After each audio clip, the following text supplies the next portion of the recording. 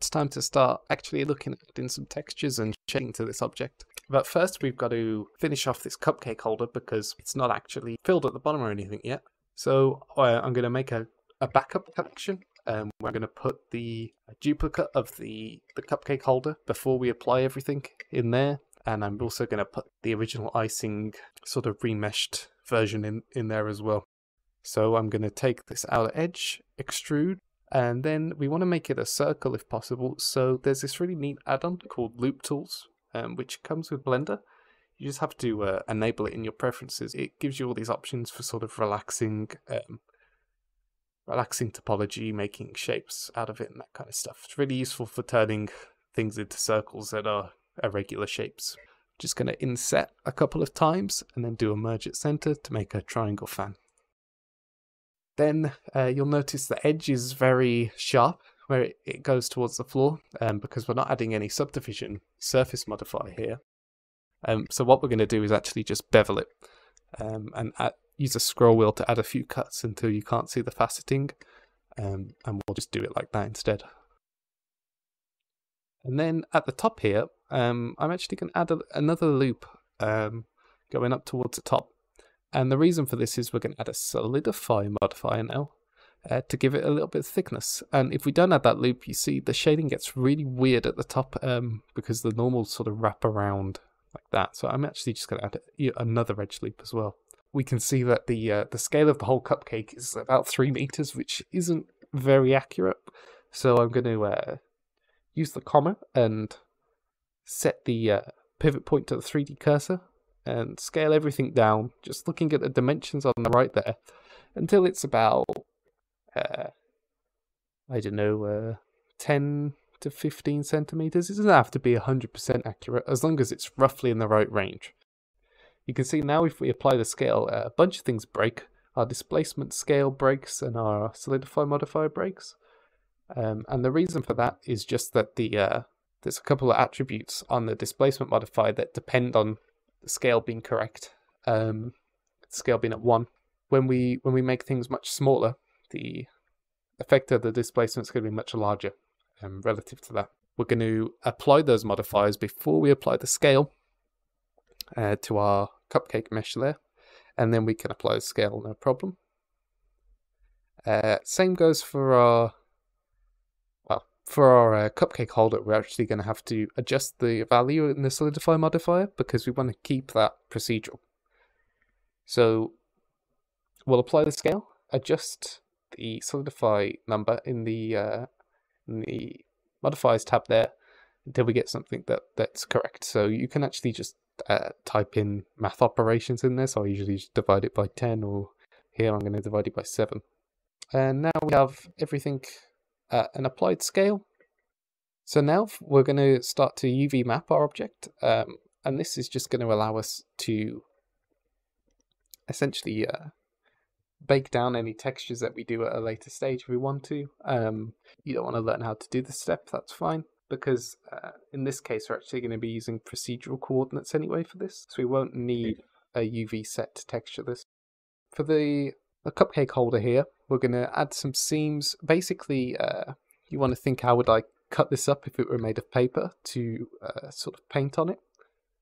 And the way you would do that is by uh, cutting the uh, one down one of the sides so you could sort of unfold it that way and then selecting everything, unwrap, you see you get this uh, in the UV editor, which, you know, is pretty good.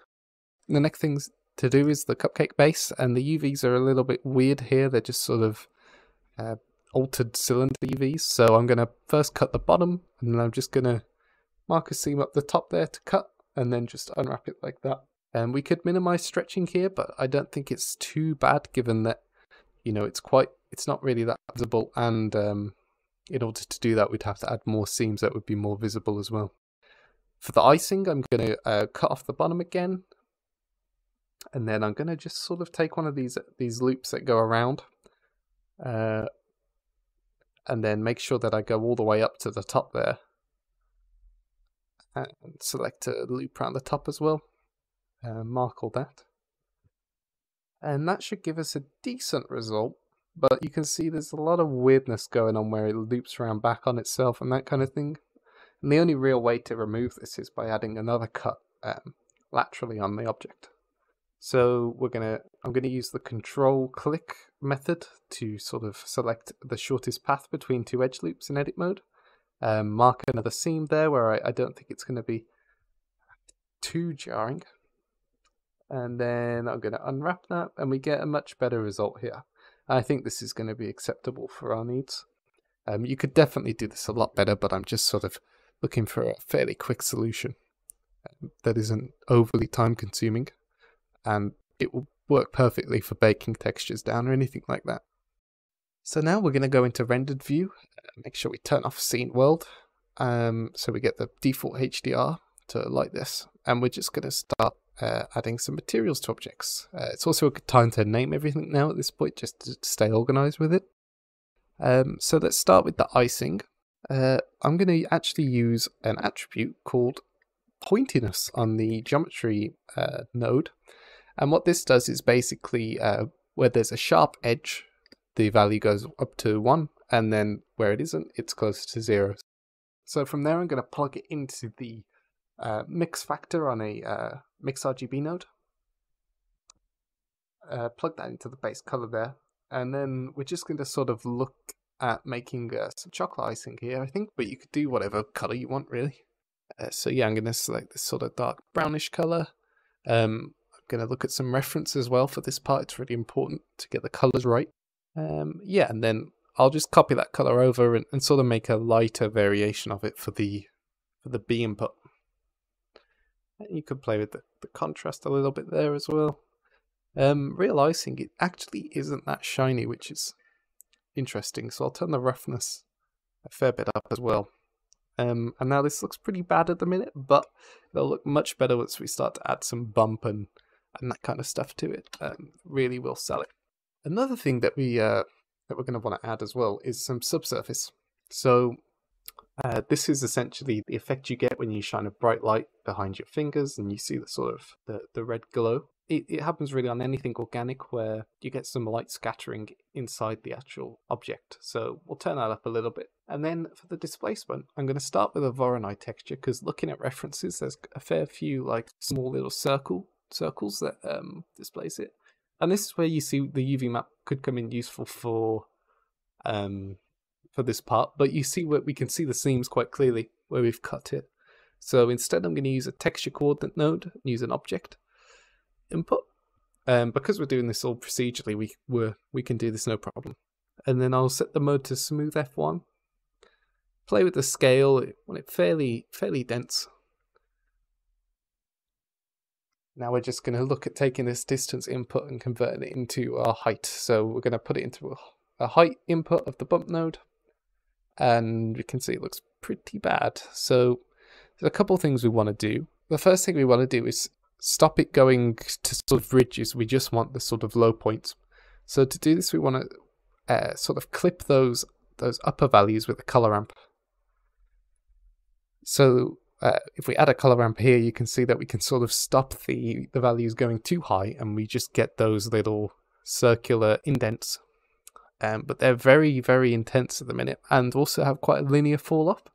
So to change that fall off, uh, we can add a float curve Make sure you add it before the color ramp because the values will be from zero to one there. Um, and we can, yeah, we can really play with the with the fall off of this quite a bit, and the sort of size of the holes there as well. Um, and then I'm just going to multiply this whole thing by a very small number, uh, 0.01, just so it's much less, it's much more subtle. And then I'm going to add another multiply node, multiply it by 0.2 again, just to tone it down even more, because uh, yeah, even multiplying it by 0.01 isn't enough. So there we go. You can also hold shift on any value to to scroll through it more slowly. So that's looking pretty good as a first pass. Um, and then we're just going to layer up more uh, more displacement basically. So we're going to layer up a noise texture here. And we're going to add that on top. Actually, let's set it to, yeah, let's set it to add. Then bring the scale up a bit. Uh, it's really useful for stuff like this where it's really sort of small to to bring the detail and the roughness up, um, but not too much or it becomes so small it's barely noticeable. And then just, I'm just going to add those two multiply nodes in again to tone it way down, and then we get a really nice sort of uh, uniform bump across everything, and it just catches the light and gives us that impression of roughness. I'll just set that to 0.001 and then set that to 0.3 so I, I get a bit more control on the second multiply there. I can just sort of play with how intense I want that. But you can see it's, it's actually a little bit too uniform for, for my liking, so I'm going to add another noise texture with a much larger scale. Um, to be much broader, and it's essentially just going to be a control for how intense the bump is across across the icing. So uh, where this where this noise texture is white will be the strongest areas, and where it's black will be there'll be less bump there. So yeah, I want I want something fairly uniform but broad. So something like that. Adding a color ramp, you know, just to control the contrast there. Uh, and then I'll just multiply that on top of the um, on top of the other noise we have. And this right now is uh, essentially turning it off in some areas. So I'll, instead of that, I'll just bring that that black up to 0.5 so that it's never got no bump. It's just got maybe half strength bump or a third strength bump. I'm going to add now another Voronoi texture um, and pretty much copy the setup we had for the first one. Sort of add it in as well, um, just for some larger larger scale holes.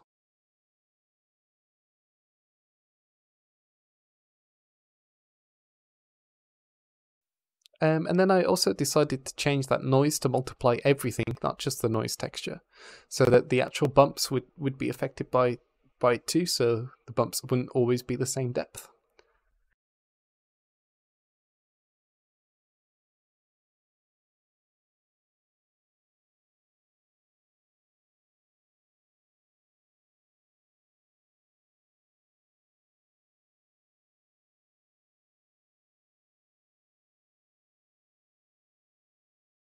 And then I'm just going to take that, that small uh, Voronoi texture and uh, use it to control the color a little bit better as well, I think. So I want basically the color to be a little bit darker where the indents are. I'm going to make another mix RGB node and use that mask as the factor there. And then sort of copy the base color into there. But as you can see, actually, we need to flip the inputs around because right now our color is affecting the majority of the object. We want it to affect only where the where the little dents are. So yeah, we can add another color ramp to control the contrast again and just make the color a little bit darker. Uh, I'm also going to set it to, to take from the float curve node so we get the nicer fall off too. And yeah, we get some get some darkness there. It might be a little bit too intense, so I'll just lighten it up a little bit, that color. But I think this adds some really nice natural variation. Uh, if you want to as well, to simplify it, you can actually add a RGB node. Um, so we don't have to input three colors manually. We can just sort of input uh, one here and then use that to control the uh, the color of the dimples by plugging it in there and then just in between adding a hue saturation value node, decreasing the value a little bit. Um, you can sort of control the strength just using that factor there that's a little bit of a nicer way of doing it. So now if we want to change the main color, we just change that one color on the node. So yeah, that's pretty much it for the icing. Um, it looks fairly complicated, but like I say, it's just a few different effects layered on top of each other. Now I'm actually going to copy and paste a bunch of these nodes because this overall sort of displacement look of the that we have on the icing here, I think with a little bit of tweaking we can use for the um, the actual cake itself. So I'm actually just going to bulk select these nodes and control C them. Then in our cupcake shader, I'll just paste them in and do a little bit of tweaking. Uh, maybe tweak the, the fall offs a little bit there and tweak some of the scales as well. Uh, set this to be our sort of chocolatey base color. And then I want this to be fairly shiny, actually.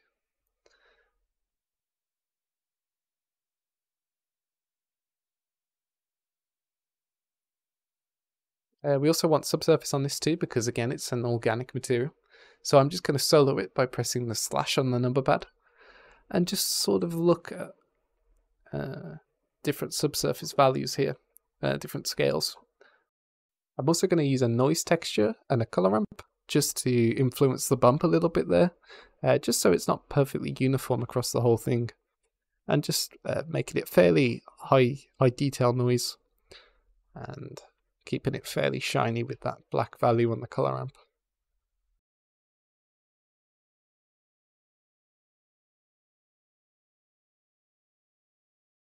Now for the cupcake holder, this is supposed to be a sort of translucent paper-like material.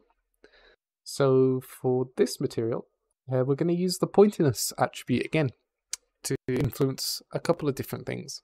Um, firstly, the color, um, because in a lot of the reference I've seen, um, because it's translucent, you get a lot of the color of the actual cupcake coming through on the points closest to the to the cake. So just using the uh, the same technique here with the pointiness. We get that nice mask. Uh, set that to ease so it's not perfectly sharp. Um, and that's a nice nice mask for our different colors that we want. So I'll set one to be a dark sort of chocolatey color to give that illusion. And the other one I'll keep white. And now this isn't looking very good because we need to actually make it somewhat transparent. So we can do that with the transmission attribute there. And then with the uh, our render settings, make sure you actually turn off caustics in the light paths because that will slow you down quite a lot. Um, yeah, and keep your values, the value for your white, fairly high um, because it's very sensitive to, to dark values. I'm actually going to just tweak the shapes a little bit here so it comes up a little bit more, tapers in a bit, bit as well maybe. Yeah, feel free, free to still tweak your geometry at this stage it's not quite matching what you had in mind. Um, using proportional editing again, you know, pressing O, really helpful for for actual cupcake base here. I'm actually going to add a circle in um, to make some little star shapes uh, on the top as little decorations. Uh, so I'm going to add, I want a five point star, so I'll add a 10 point circle because we need double the amount of points so we can scale every other one in. Make sure your pivot point set back to median, just with the comma menu there. Uh, and yeah, just fill the star in. Now, uh, this is where using an Ngon, in my opinion, is fine. We could quad fill this fairly easily, but really don't think it's necessary. Just because this won't be subdivided and uh, we don't, we want it to be shaded fairly flat anyway, so it's not really a concern. And now I'm going to give it a little dark material once it's in position. Little chocolatey, dark, shiny material there, turning the roughness down. Now you can see the edges are way too sharp at the minute, so I'm going to add a bevel modifier. And because we're working at such a tiny scale, we actually need to turn the amount really, really way down. It's practically impossible to do it manually, so you have to um, get it as low as you can and then just divide it by, keep dividing it by like two until you get, you can start to see the impact of it. And for me, uh, three divisions, uh, this tiny scale works pretty well, so I'm going to leave it like that. Now, to distribute these, we could do a particle system or some sort of geometry node setup for this, but uh, I find myself just fighting those systems quite a lot to get the result I want. And you know, it's not going to take too long. So I think I'm just going to manually duplicate the star up. Um, I'm actually going to use Alt D when I duplicate these so that the uh, that way the geometry stays linked. So if we did want to say convert these to quads later, if we needed to do that for some reason, we could because if we went into edit mode on one, it would change all the stars at the same time. But I'm also using the 3D cursor here. I'm just shift right clicking where I want to put a star on the surface. The cursor will snap to the surface then with Shift S, I can snap the selection to cursor. So in terms of our render setup here, the first thing I'm going to do is just uh, create the backdrop we want. You know, looking at how real life photography of, of products is done, um, the way that they, they do an infinite backdrop is actually just sort of like uh, almost like a cloth that drapes down and has a nice nice curve to it. Then I'm going to add a camera and set the camera to view and just sort of position it around. I want to rotate this cupcake, so I, I don't want to rotate everything individually, so I'm going to grab all the stars, uh, parent them to the icing with Control P, uh, Object Keep Transform, and that way, uh, now whenever I move the icing, the stars will follow it.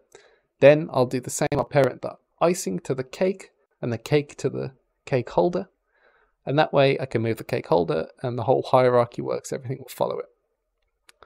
So now I can just spin that around a little bit. And now I'm going to start lighting. So uh, the first thing I want to do is make sure I'm using the scene world, because that's what we'll see in the render. Uh, and then I just want to set the world to black because I, I want to add all this light, all these lights manually. So the first thing I'm going to do is add an area light here, and just sort of start positioning it uh, somewhere realistic and there's quite a lot that goes into lighting but for now i think uh, for this product shot we want to just keep keep it fairly simple minimal amount of lights. Uh, big lights create softer shadows so we'll, we'll set the light quite big relative to the cupcake. Then i want to color the backdrop a little bit and give it a sort of pastel orange type color. I think that goes quite nicely with the uh, with the chocolate. You can explore a bunch of different colors but i found this one works pretty well. Uh, and it also depends on what colours you went with on your cupcake and that kind of thing, but this usually works quite well for product shots. And then if, if you find things are blowing out a bit too much, you can decrease the intensity or pull the light out a little bit, but you know, make sure you don't underlight your your product here. Now that we have our, our key light sort of in, um, we, we quite like the angle that that's coming in at. Uh, to get more of a, a studio feel, uh, we want to add another light uh, coming from the other side that's going to act as our, our sort of fill light. And this will just uh, make, make the shadows so they're not quite so dark. Um, and I actually want to tint this light to be a little bit blue, uh, just to contrast with the all the orange we've got going on in the scene. Another thing we can do to improve the realism here is uh, enable depth of field on our camera.